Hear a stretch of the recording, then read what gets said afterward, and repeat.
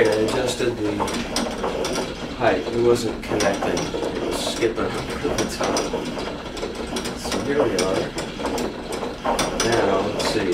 One, one thousand, two, thousand. Boy, we're on, we're uh, right in the 60 RPM neighborhood. I was only planning on doing 30. So let's turn it down. Again, pointing out that I'm turning the button.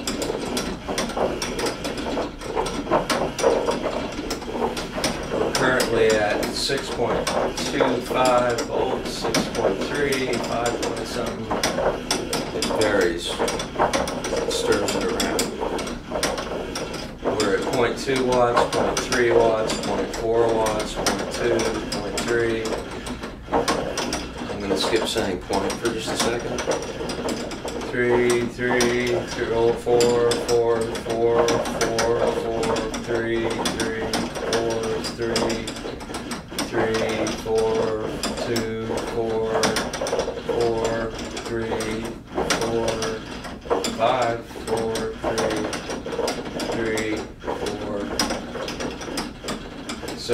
Point zero, we're running right now about five point three, five point five, five point seven, under six volts. Again, this is our drive. Let's see, one, one thousand, two, one thousand, three, one. So right, we're at about thirty RPM. Now, back to the science. This doesn't seem like a big deal to people, but to move a 19.58 Newton mass at a distance of two feet from a pivot point that's at a 90 degree angle to that torque shaft, which it is, although even if you change it, we're talking minutia. So this, as you see this, is mathematically producing 117 watts of power. Did you hear what I was referring to on this scale? Point four. Point. We haven't even, we're not even using one watt right now. One, one thousand, two, one thousand, three, and if you say, hey, that's not going thirty RPM, Dave, well, I'll turn the button up remember, I can always turn it full. Let's do that. Here it's full blast off a 9 volt. It does better off twelve. 12s. So let's just see what she does on the 1 1000, 2 1000, 3 1000. Well, we're over 30 RPM.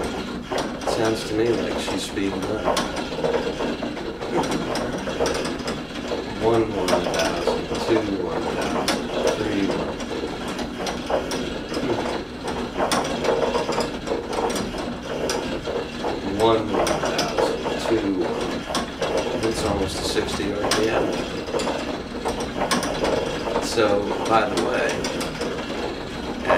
60 RPM, instead of 30 RPM,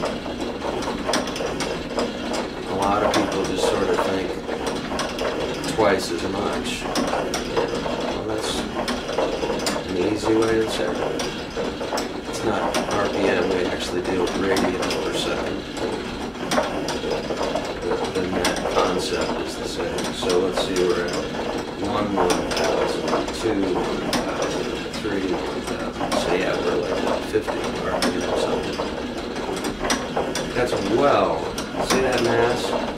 Now when I talk about that many watts in, in that particular mass, that doesn't count the fact that I have it hanging on a steel pipe that has weight all the way down its length. Uh, this is plumbing pipe. And at the end, you see I have a cap that's just like this.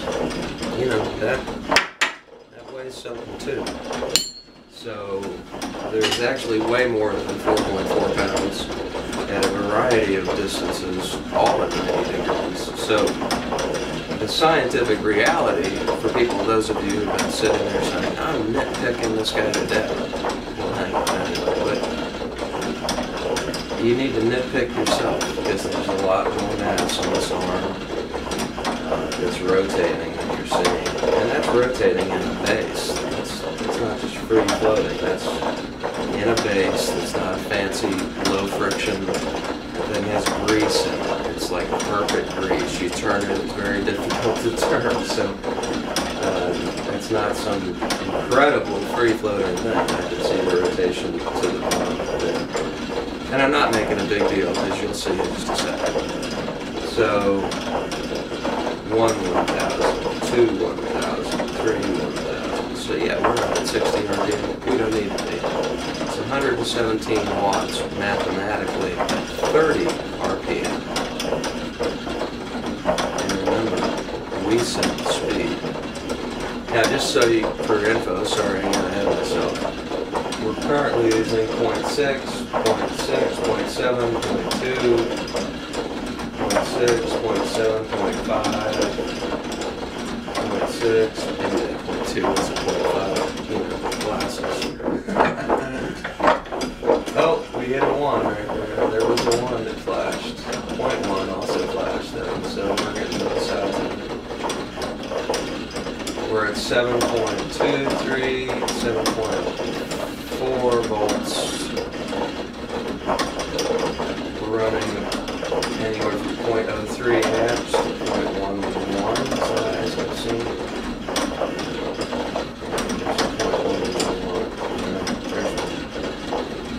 And about 0.5, 0.6, 0.7 volts. So no matter how you construe this, as you're watching this video, oh, whoops. Sorry, I just connected the plus and minus there, pushing it too far.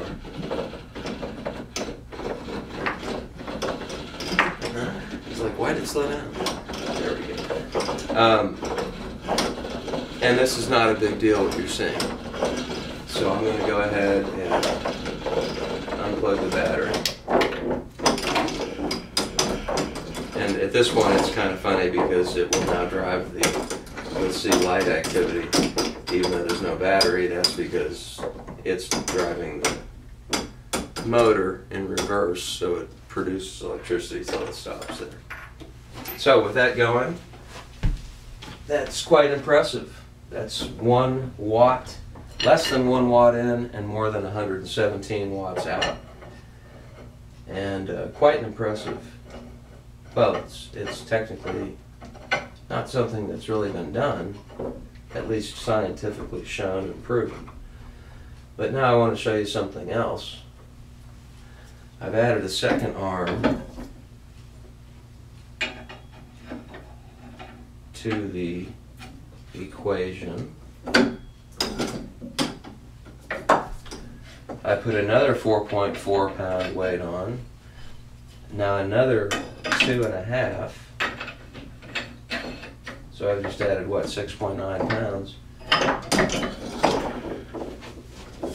And we'll just plug the battery back in. Oh, whoops, spun the wrong way there.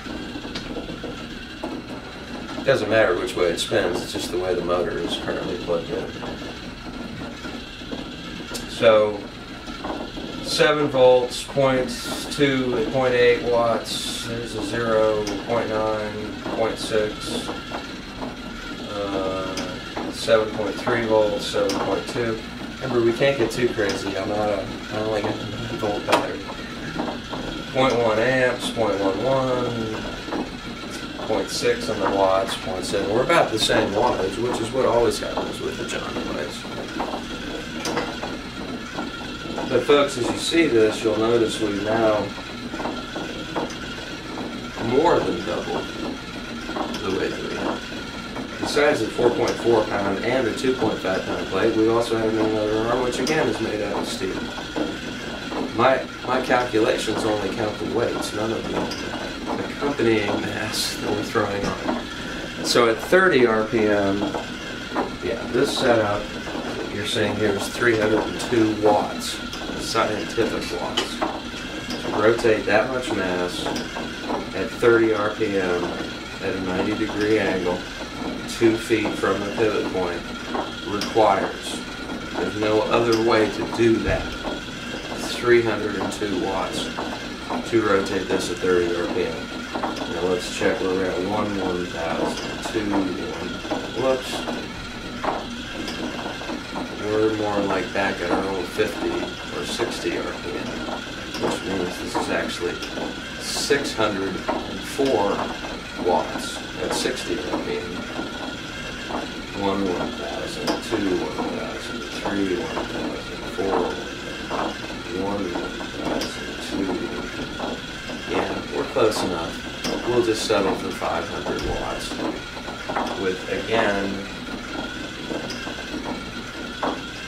nothing in. Now at this point you're saying, okay, I'm getting tired of him pointing that way. Yes, I'll grab the camera. you can come over and look at that thing. See that? And we'll just leave it for a bit. And here, while it's doing that, I'll kick the weight and give her a whack. It should have moved up your numbers a ways because it had to work to past that. It's like, hey. but she'll get right back to business as usual.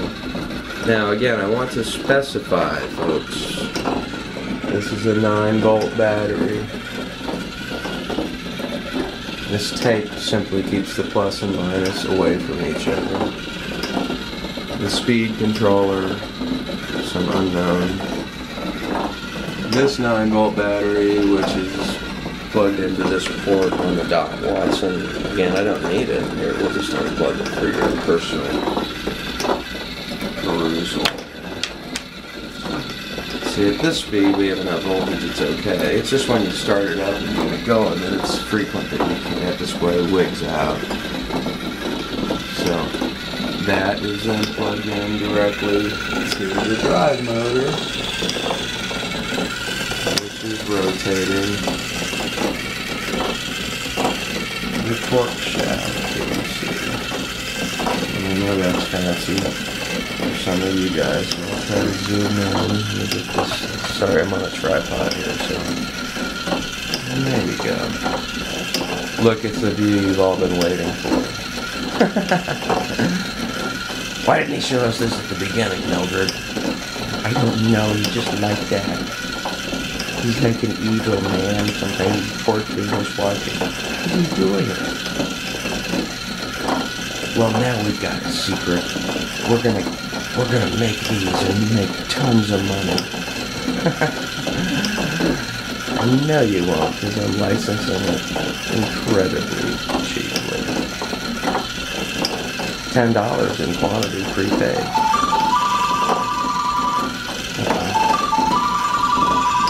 Like somebody's gonna have to wait.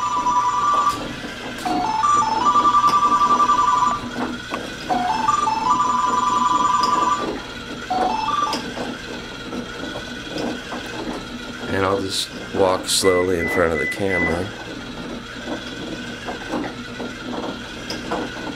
Go KU. Okay. So, ladies and germs, well, we're way over 30 RPM, so I don't know what wattage you all were just seeing when I was holding that, but I really don't care because I've seen it a million times. and I know you were under 2, and I know that you're looking mathematically at way over 300 watts of shaft torque power. Quite impressive. Now, I'll just leave that going. Turn this off for a momentito. I set that up so I don't have to hurt the motor when it spins down. This will actually spin for quite a while because we're in the, this is called the 1000B or balanced variant and you'll see that it will actually without anything at the top slowing it it's going to take some time to slow down and we don't really want to take that much time so anyway you say man that stuff's impressive and it is that's less than one watt of power in and more than, well, we can comfortably say four or 500 watts there. But you know, these 4.5 pounders are, are neat, and I know you've been all looking at these. This is a 14.3 pounder. So we're just switching the old Newtons around a tad. And tell you what, we're going to still use Junior.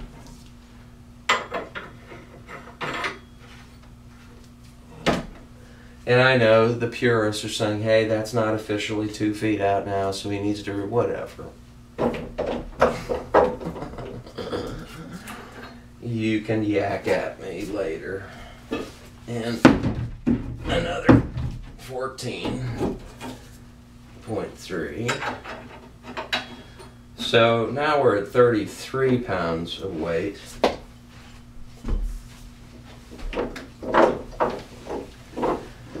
And we're going to turn our motor back on.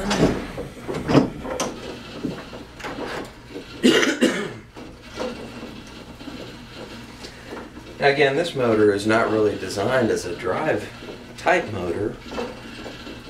Uh, I- there's going to be definitely variants where you'll have two. But let's go ahead and count one 1,000, two 1,000, three 1,000. So we're right at about 30 RPM.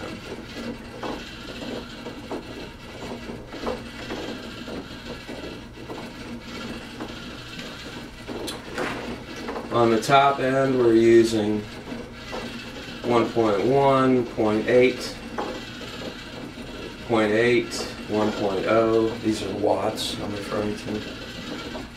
0.6, 0.8, 1.0, 0.7, 0.9. We're at about 6 point something volts, 6.7, 6.8, there's a 7. We're at about 0.1 amps. We're at about where we've been the whole time. But now we're running 33 pounds. This this is, as you're seeing right there, that is 884 mathematical watts of power. There's no exception to that rule. You cannot take a shaft and have 14.3 pounds on the end of one. The other's got a 14.3 and a 4.4. You can't rotate that much mass at this speed and to use less than 884 watts of power. That's not possible to do. I want you all to understand that. So, in that respect, some people always do the magic of a gravity engine because 884 watts. Well, you heard me talking, but we'll come over for your for your look, see, whatever.